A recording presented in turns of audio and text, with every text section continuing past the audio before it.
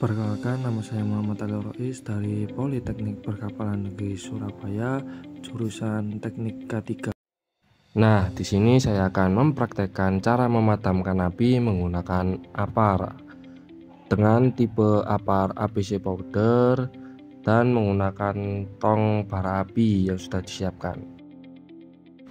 APD yang digunakan pada saat memadamkan api itu yang pertama ada sarung tangan terus yang kedua ada helm safety yang ketiga ada masker dan yang keempat ada wear pack dan yang kelima ada safety shoes.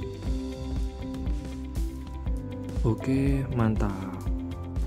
Bagian-bagian apa ada nozzle tube ada hose tata handle ada safety pin dan pressure gauge selanjutnya ada bahan solar untuk membuat api yang besar beserta tongnya juga. Langkah-langkah yang benar pada saat melaksanakan praktikum yaitu yang pertama kita kocok terlebih dahulu aparnya bisa 2 sampai 3 kali pengocokan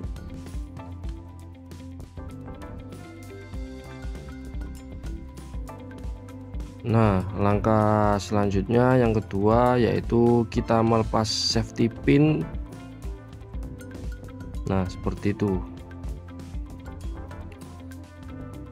Dan langkah yang ketiga kita melepas nozzle dan jangan lupa untuk menyemprotkannya kita harus searah dengan arah angin. Nah, selanjutnya kita mengembalikan kembali nozzle-nya dan mengembalikan safety pin pada tempatnya seperti semula. Selanjutnya adalah proses memadamkan api menggunakan apar